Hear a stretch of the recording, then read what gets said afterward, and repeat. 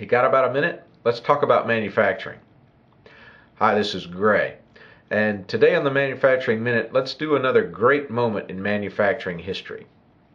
Back in 1798, Eli Whitney got a contract from the federal government that, uh, in some respects, marks the beginning of the Industrial Revolution here in the U.S.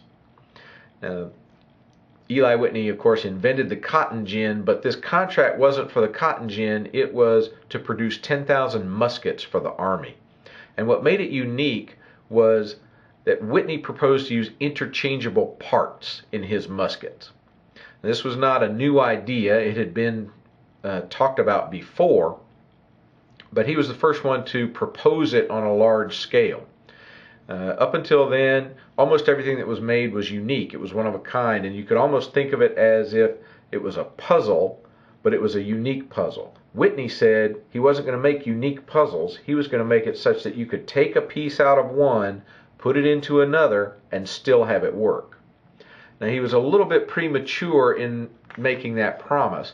He ended up having to trick some congressmen into believing he had achieved it when he really hadn't.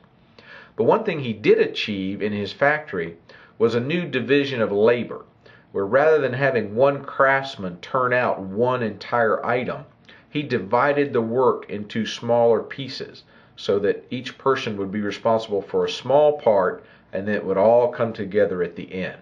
And that, of course, is very much like manufacturing as we know it today. And that's why this is a great moment in manufacturing history. So thanks for watching the Manufacturing Minute.